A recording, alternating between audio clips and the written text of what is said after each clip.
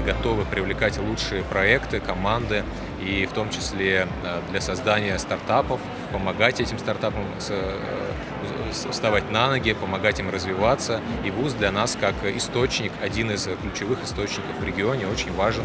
Поэтому мы готовы обмениваться экспертизой, мы готовы привлекать э, студенческие проекты к работе в реальных условиях экономики, то, чем мы занимаемся, внедрять э, в компанию и в наших э, компании наших партнеров.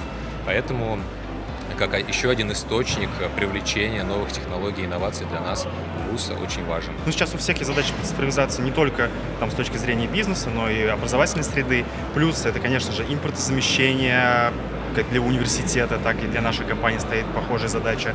Плюс э, перевод э, у университета есть разработки, эти разработки, они интересны в целом рынку, показать, что мы можем это все э, как бы переводить не только внутри там, Российской Федерации, но и на другие страны. Для нас, как для университета, очень важно, что такие крупные игроки IT-рынка приходят к нам с предложениями о сотрудничестве, и это дает нам новые возможности.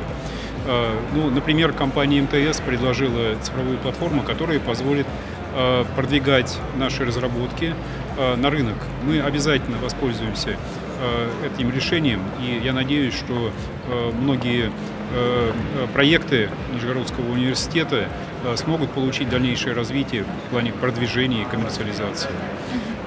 Компания Softline – это один из крупнейших, даже не российских, а международных игроков. И они э, позволят также нам выйти на новые рынки. Ну, в первую очередь, это рынки зарубежные. Если говорить о соглашении, подписанном между НОЦ и компанией МТС, то Здесь я тоже бы хотел э, акценты расставить э, немножко больше в сторону университета, потому что университет является ключевым участником НОЦ. И э, подписывая соглашение между НОЦ в целом и компанией МТС, мы считаем, что наша совместная работа как участника НОЦ и команды МТС позволит продвигать разработки Э, многих компаний Нижегородской области на рынке, с одной стороны, а с другой стороны найти новые задачи и постараться их решать.